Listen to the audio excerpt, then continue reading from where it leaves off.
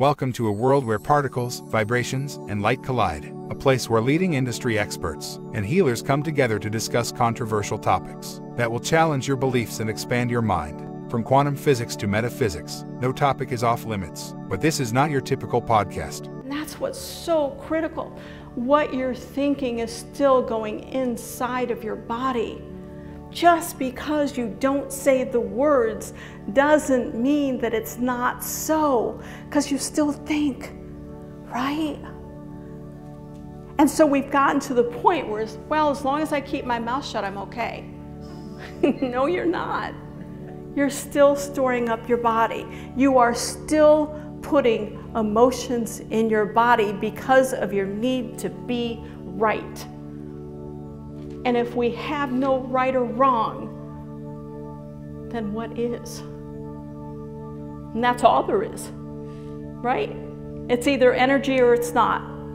Whether you're speaking the words, whether you're thinking the words, whether you're thinking it, still matters.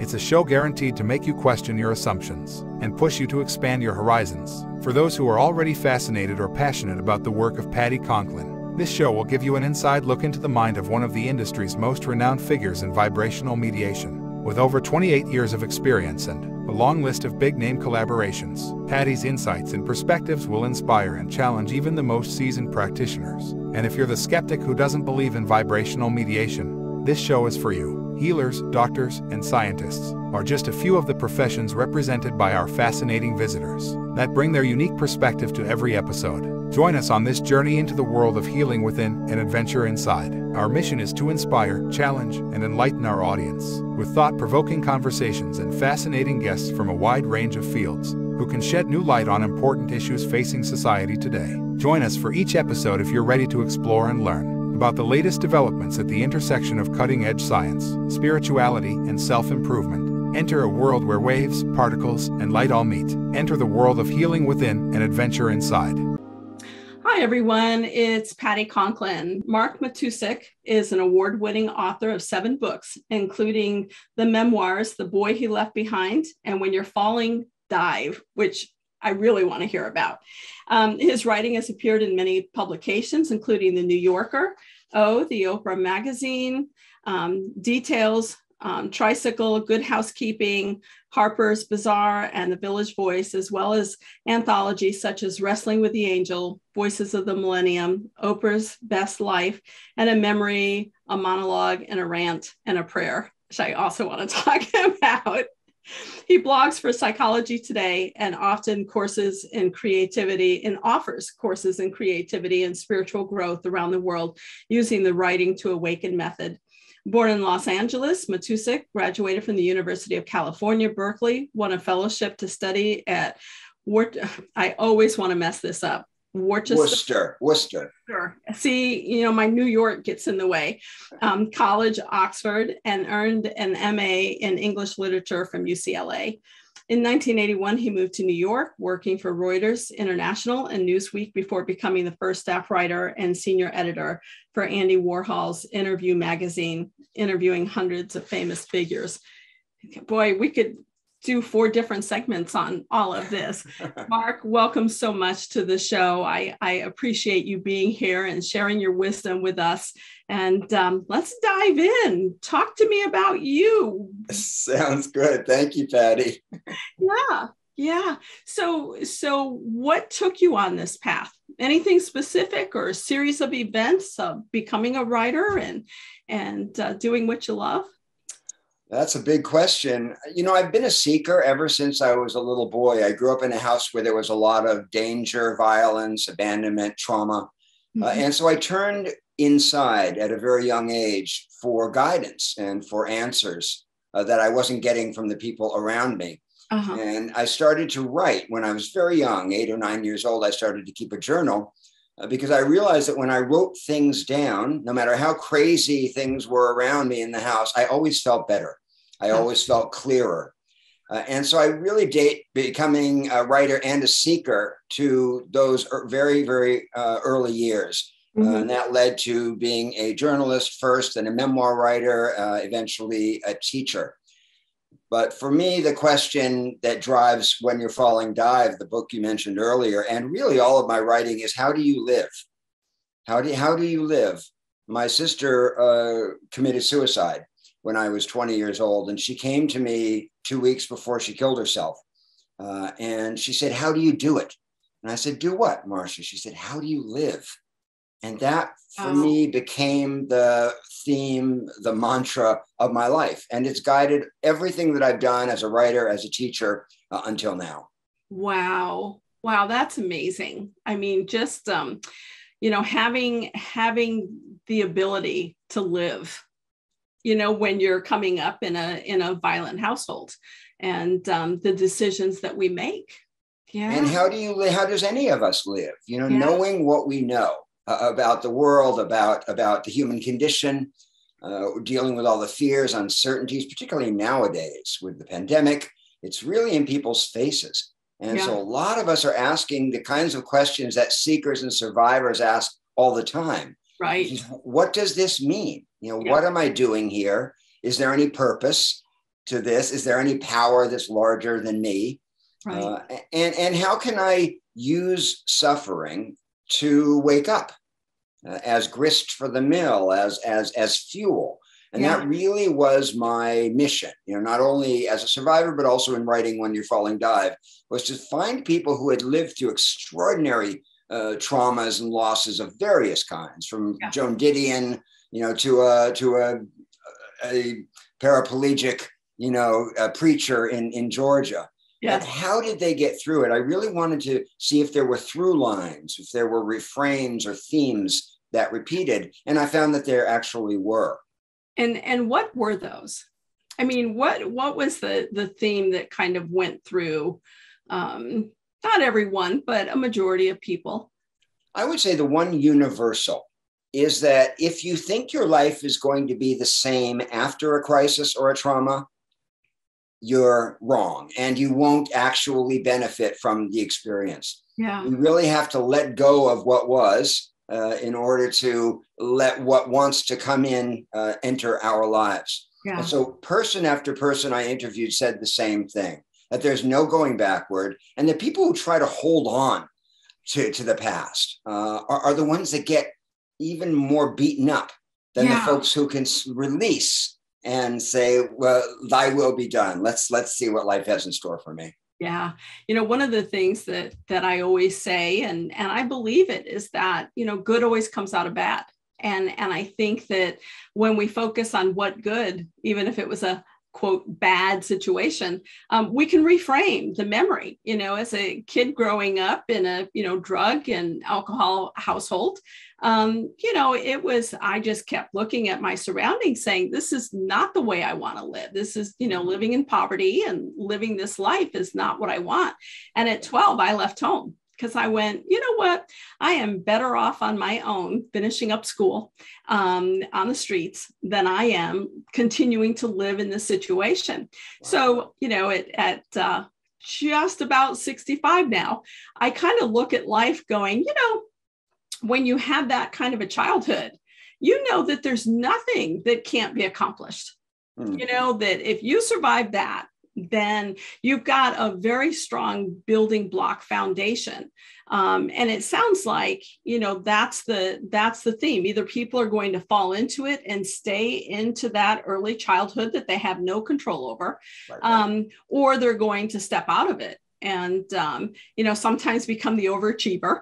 Um, but i think that that you know listening and being able to interview are, is there one person that really stands out uh, for you in the in the people that you've worked with through the years or taught?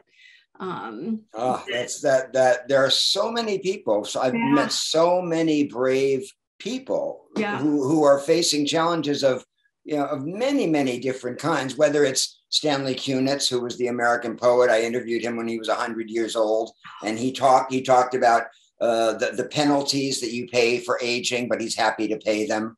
Yes. You know, I spoke to Joan Didion after her husband died in front of her eyes uh, in their in their dining room. Uh, I spoke to an amazing couple uh, named Jack and Mary Willis, who he had been he had been uh, paralyzed two weeks before their wedding uh, Oh. anniversary, uh, their wedding rather, in when they were Oh. 28, and she stayed with him for the next 60 years. You know, as he, you know, as he, you know, as he adapted to, to living that way, and and they were an amazingly strong couple. So I've, I've, I've interviewed so many people, and that what moves me is that there's this power that we have that we don't have to invent it; it's in us already. Right. What we have to do is remove the obstacles to letting to to it manifesting, Yeah. and that Yeah. means confronting a lot of our our stories and a lot of our beliefs that that aren't serving us.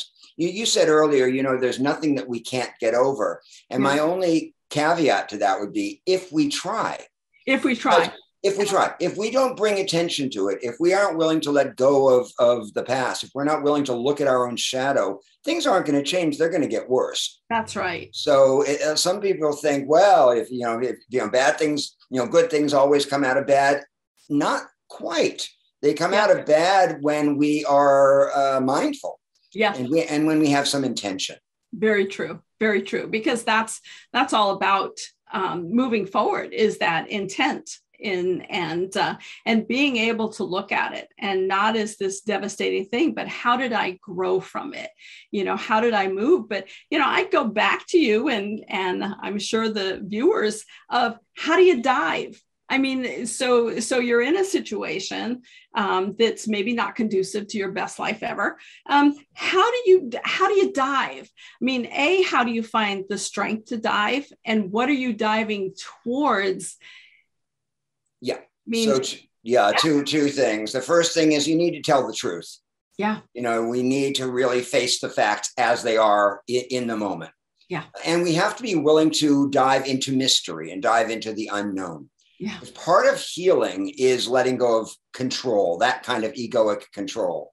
So we need to be willing to uh, to not know Yeah. and to be in beginner's mind in order to discover new ways of being and when Right. when that willingness is there extraordinary things are possible yeah, yeah. and when it's not there, you can't put it there.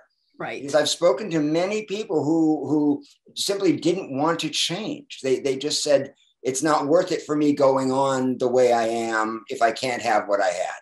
Right. Uh, and uh, you know, self pity is the is not helpful when it comes to healing and, It's and awakening. all. It's self pity. self pity is not our friend. No, no, the self pity, the victim mode. And, you know, so many people, it seems like, don't understand when they're in the victim mode, you know, unless it's expressly pointed out to them of, you know, the statement you just made. It's like, I've got a great life considering I've got, you know, gotten rid of my ex. And, and it's like, okay, so you just went into victim mode. They're like, no, I'm not. I, I just made a statement. It's like, you have a great life. End of sentence End of sentence. not Yes. and- getting and- not getting rid of the x is not the continuation of that um, it's it's the end of sentence of i have a great life and just kind of catching them on that wording of just you know how are they expressing when when you're teaching when you're talking with people um, are you and i'm assuming you are listening very carefully to how they're phrasing their words how they're Absolutely, particularly as a writing teacher. I teach a, a, a form of self inquiry through writing called Writing to Awaken. And it's really about confronting our narratives. Uh, Mm, and it can be quite painful. yeah And there have been times when I've suggested to people that there was a victimizing tone in, in their word, in their work that they rejected, and I never saw them again. So Yeah. there are people who really don't want to look at it. Uh, but when folks are open, yeah the possibilities for transformation are extraordinary. and they're amazing. When, they are, and but and but you make an important point about listening because you need to hear the language that people use to describe their experience because mm-hmm. language dictates experience. It, it that language dictates perception. Perception dictates experience. Absolutely. So how what what stories are you telling yourself about who you are and how you got here, right, and how true are those stories? right, right. That's really the key. Absolutely. Well, because it seems like in so much of people's lives with the people that I work with, and I think the people you work with, is they've created a narrative that's either more painful or less painful than what actually took place and and the whole memory cycle of what really took place gets skewed and and so excuse me. And so you you get in this situation where it seems like you're working with people their memories are skewed you can tell it's skewed.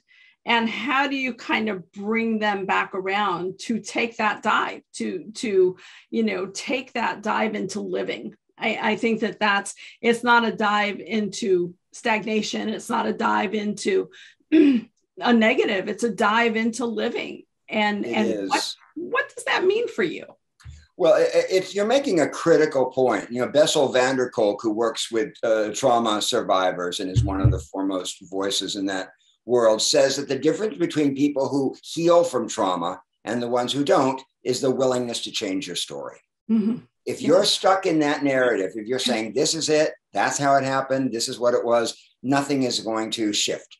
There's Yeah. no, there's no, no evolution is possible. Yeah It's only when we're willing to change, to question the story, and and how am I holding this? How am I framing this? What kind of role do I am I putting myself in? Yeah. Uh, that things can start to change.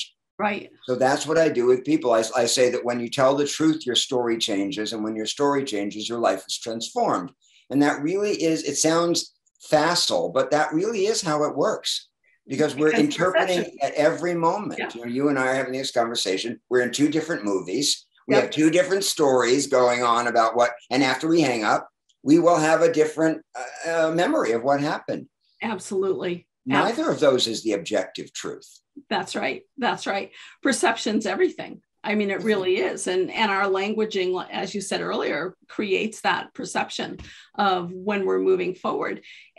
This may be a strange question, but you know, I'm going to ask it anyways. Um, is there a cultural difference around the world? I mean, I work in 62 countries, and one of the things I notice is how we store stories. I mean, not only in our bodies in terms of a disease process, but how culturally we store. Have you noticed, um, in a cultural sense, people who are willing to let go of hardships of life and move forward into a positiveness? Is there any one country that stands out for you that? That you can can look at and say you know these these folks yeah they may be going through a rough time but they're able to get in and start living That you know that's that's a tricky question. What I can say generally is that folks in the East, Mhm. uh, if we're talking about India, we're talking about Asia, uh, the I is not so huge. Uh, the I is not the middle of the universe. They don't see that that ego as the center of the story. They see themselves communally. They see themselves in a cultural context. Uh, so it's not as hard for folks I've worked with from countries in the East uh, to realize that that their narrative is not the gospel truth, and that they're not the cent- you know that they're not all that important. right um, right On the Right. other hand, folks in the West, particularly in the United States, are very willing to do the work. So uh, often there's a kind of a pass, there can be a kind of passivity that I've come across uh, in terms of spiritual practice in particular right um, in, in the East. Whereas here we dive in, you know, we, you know, Americans, we put on our, you know, marching shoe, marching boots, we're ready to go. So it goes, you know, there are strengths and weaknesses on both sides, I think. Yeah, yeah. So, in growing up, was there any one thing? I mean, obviously, you were a, a sounds like a very open child and a, a child who observed um, life. Um, is there is there anything from your childhood that really kind of made you look and say, this is an avenue that I'd like to start walking to become a journalist or or to become someone who's really talking to others about their stories. I've been doing it since I was a very small boy. Not only was I writing in a journal when I was eight years old, nine years Wow. old, but I was asking people about their stories, about themselves. My Mhm. mother's and older sister's friends used to come over and talk to me when I was a little boy because I was so interested in their in, in who they were. And I would ask them questions that most people didn't ask. You know, I think that we come into our lives like the acorn. I think we come into our lives with what our our genius is or what our gift is. Mhm. And Yeah. my calling has always been uh, around around story. Yeah. Uh, that's what that's what made me that's what made me into an interviewer. That's I never wanted to be a journalist. I was just interested in people people's stories. Yeah. And it's then what you know what turned me into a memoir writer and now working with people uh, telling their stories. It's all of a piece. Right. So right. that for me was the that that was the giveaway. Was Yeah. that as a kid I couldn't get enough of other people's stories. And the other thing was because I was a very lonely child, very kind of alienated child, it was an opportunity to connect. And I found that when you ask people questions, you could connect. Yeah. And Yeah. they felt seen and they were interested and, and they found you interesting. And it was a mode of, of you know, of bonding. Yeah. And I've been doing it ever since. I've never gotten tired of it. I never Wow. weary of hearing people's stories, Stories, reading yeah. people's stories. moving from journalistic into working with people i mean obviously i'm not going to say that as a journalist you weren't working with people because in your own way you were continuing to work with people by allowing them to tell their stories right and be able you know when people tell their stories it seems like they have a reflection of what they've spoken about and um, and so moving into working with people now um, what are you enjoying about it I get so much joy out of it. And it's not something I ever planned to do. I was, I've always been a writer. That's been my, my, my identity. yeah Uh, and then about 15 years ago, someone asked me at a college to come and teach a writer's week, a week long workshop. And it was the strangest thing. I walked into the room with these 12 people around the table and I knew what to do. I knew what to do. Wow And I realized that all of those years of trial and error, I mean, I'd been a writer for 30 years at that point. I had learned something. I had learned something not only about the craft of writing, but about telling the truth and going inward and, and mm-hmm. being honest about your story. So I just fell in love with it. I fell in love with it from the first time I did it. I never planned it. And I just, one thing led to another. Then I wrote this book called Writing to Awaken, which is really the method that, that I use. And I have never given a workshop, and I've given many, many workshops now around the world that I didn't leave feeling high, just feeling so much joy. There's something about when people reveal themselves and you can be in that space of truth together that is like nothing else. right right I, I absolutely love it. So I have in my life, I feel like I wear two hats now, one, three really, but the two major ones are as a as a writer, but as a teacher. And I get very different um, satisfaction from both of them. yeah yeah as a teacher is there is there a message that you um, that you relate uh, to people or a, a message that you really want your your student to walk away with Yes, uh, the message is tell the truth. yeah Because if you think you're telling it now, you're mistaken. Right You know, right very rarely do we tell the whole truth. We Yeah. go through our lives every day, you know, telling euphemisms, lies by omission. We do what psychologists call reputation management. How am I looking? What are they thinking about me? So we're constantly uh, censoring and editing the truth. So the first thing I say to people is being able to confront the truth as we know it in that moment uh, is the first step uh, to awakening. Yeah Uh, but it's not the capital T absolute truth. It's the small t, messy, changeable human truth that we're all, the contradictory truth we're all dealing with. right Uh, and until you do that, you're it's it that's the doorway into your into the self. It's the doorway into insight. right And right a lot of folks are just not willing to go there, but many are. And, and, and it's extraordinary how fast people, how far people could go and how quickly when they just drop that, that censorship and that Right. shame. and Say, Right. this is who I am. This is what's true for me today. And when they see it on a piece of paper, it, it, that's where the insight comes in. yeah They're, they're taking what's inside and putting it outside. And it's that and when they can observe them and say, God, is that what I think? Is Right. that really what I think? Is that my story? That's when the light bulbs go off.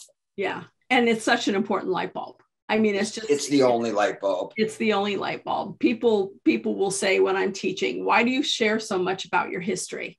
You know why do you share those really uncomfortable and and just you know they're uncomfortable to listen to? And and my feeling is if i'm willing to share everything that took place and not censor it and not you know, leave stuff out, then it gives you permission in your life to do the same because, you know, whether someone judges you or not, it's your choice as to whether or not you're going to allow their judgment to affect you. Their their thoughts are their thoughts, and that's all that really is. And and if you choose to let that uh, rain on your parade, then then that's what is. Uh, right. Uh, then you shouldn't be teaching. Then you, you shouldn't should, be teaching. You yeah. shouldn't be teaching, really, because I mean, you know this as a teacher, you use all the tools at your disposal. Yeah to bring insight and to prompt you know prompt insight sometimes it's being very personal sometimes it's it being quite probing with other people and, and, and people can be some people love it and they thrive other people go in the other direction they're not meant to work with me for example yeah, yeah. But but um I agree with you about about being willing to tell your story and be honest about yourself gives other people permission to do the same. Yeah. Somebody yeah. said something really smart to me when I was writing my first memoir, Sex, Death, Enlightenment. Uh, I was very nervous about being self absorbed or being narcissistic, or I felt like me, me, me, me. And she said, You have to remember that when people read your story, they're not reading about you, they're reading about themselves. So and when she said that, I got it. I said, Oh, so if I go deeply enough into my experience, it can benefit people in all kinds of uh, circumstances, and that has proved to be be the truth. Absolutely, absolutely. Talk to me about sex, um, death, and enlightenment. Um, what was the basis of that? Well, Sex, Death, Enlightenment was my first book, other than I had done a collaboration with Andrew Harvey, our mutual friend. We uh-huh, wrote a book yeah. called Dialogues with a Modern Mystic in 1994. And then in 96, I had been a Dharma bum for about 10 years just kicking around anywhere, any teacher I could go to, any any monastery, ashram. I was just wanting to learn. I was just passionate about it. And I wanted to tell the story of a cynical alpha male American guy uh, who gets clobbered over the head and goes on a journey. Uh, and the theme, the theme, the takeaway of the book was if it could happen to me, it could really happen to anybody. Because I was not, I was an atheist very skeptical, very cynical. Uh, and I started to have experiences uh, in India uh, and with various teachers that I couldn't explain. Yeah. And they, I couldn't engineer them. They, these were absolutely bona fide spiritual experiences. So I wanted to write a book that spoke to cynics, skeptics, atheists, people who, who don't, who aren't sort of drawn to this stuff uh, naturally, yeah. but who are hungry for answers in their lives. So that was my that was my idea and it came together beautifully. You know there a, a publisher found me uh, and at those times when you feel like you're out in the desert by yourself yeah. A, a, publisher found me they fell in love with the book uh, and it really began my career uh, as a writer. Wow wow. I think that that's a real key is is people especially if they're attending workshops if they're attending um, you know ashrams if they're they're attending temple they're they're always looking for the teacher. And and it just seems like well okay um, you're searching and searching is wonderful but at some point you need to stop yes. and walk your talk and absolutely and, and stop looking for the teacher and realize the teacher is within you and um, Absolutely. Um, and that was exactly my experience. I was 10 years on the road and then I realized that what had started out as a as a sincere quest was yeah. becoming an escape. And that I needed to go home, I needed to pay my rent, I needed to get an apartment, I needed to settle down, I needed to confront the things that I was running away from. Yeah. How do you have a relationship? How do you have a livelihood that feels, you know, in in harmony with your spiritual values? Yeah. how do you live as an integrated person in the world? Yeah. And I needed to I needed to find that out. When I first came back from India, I was so high, and I, I, met these extraordinary teachers and enlightenment, enlightenment, enlightenment. That's all I could think about. And uh-huh. I was uh-huh. having dinner with somebody, and I was going on and on about enlightenment and satori and nirvana, and, uh, and his eyes were glazing over. And I said, "What is it?" He said, "Are you talking about kindness?" And I said, "Oh shoot." it was it was a it was a huge teaching for me because I realized I had gone off into a big fantasy land and. I needed to bring it back and start being kind. Yeah. Because truthfully, it was turning into a kind of another kind of ego trip. spiritual. Materialism. Yeah. Yeah. And I had to I had to get real. Yeah.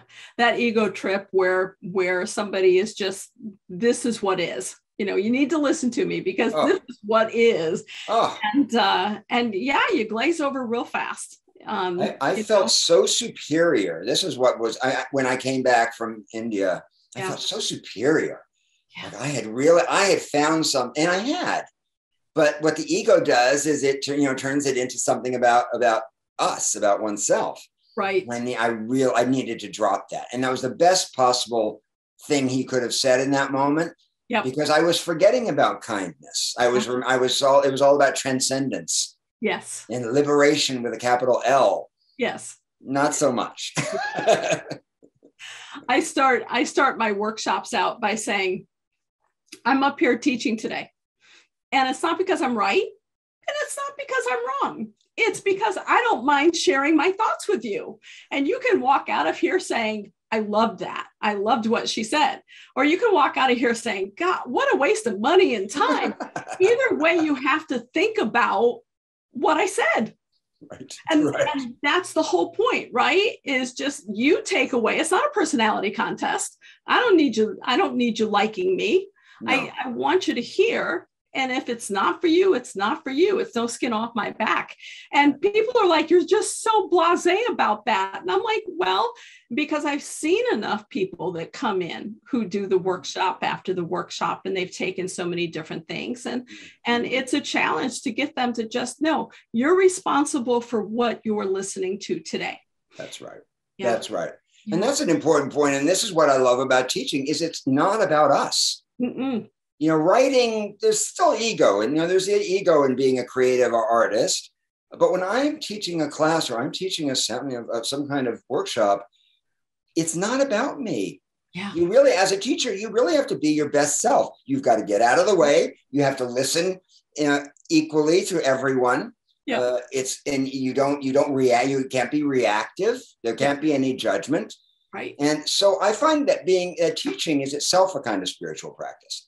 It really yeah. is. Yeah, it's a kind of a purification. Yeah. Yeah, definitely.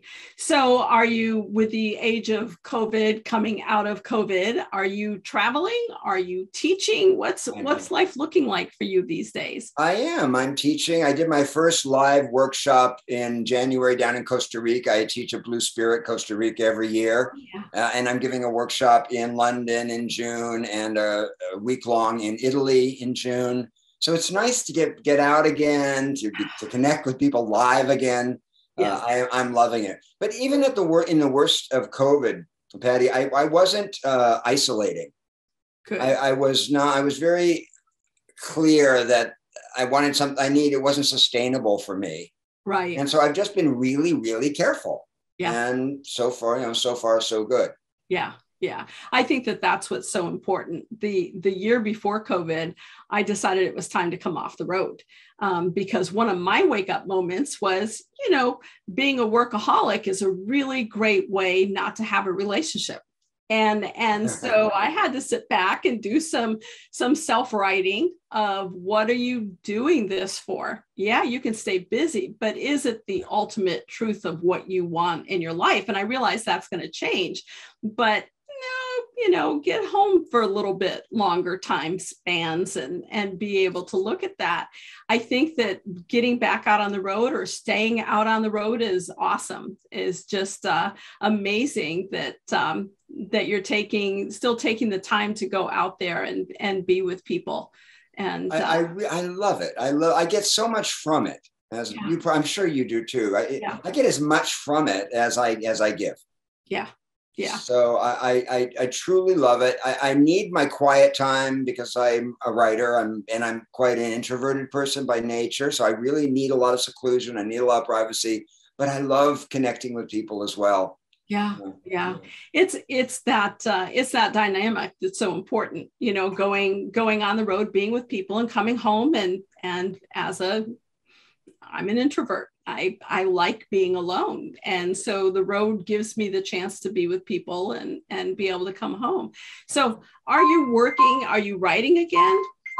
Good. I am. I'm finishing a book right now about Ralph Waldo Emerson. Uh huh.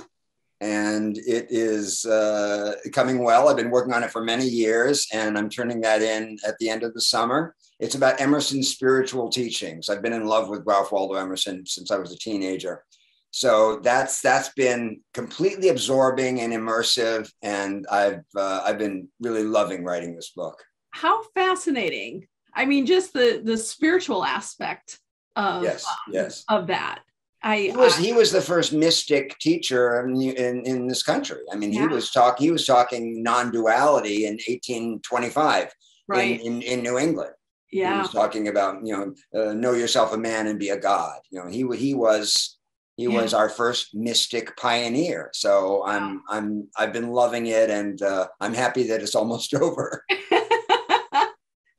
so when when any idea when that's going to be making its uh, uh, way known appearance next year? Yeah, next yeah, year. yeah, It'll be 2023. Yeah, beautiful, beautiful. I have so enjoyed being able to visit with you and and hear your world and and so forth. I just um, an amazing person who can just put um, I don't know, I guess put your light on. I, I don't know how to phrase it well of just being you and being real and uh, and allowing yourself to share. So I thank, thank you, Patti. So thanks for, for having me on. It's been wonderful to meet you. It's been wonderful to meet you, and I'd love to do one later on in the fall if you have a chance to uh, have you back on and and uh, look at your summer travels and what you've been doing. So that sounds great. So Mark Matousek, thank you so much for being a part of today and uh, and being a part of my world and my viewers' worlds. Thank you, Patti. Good luck. Have a great summer. Thank you so much.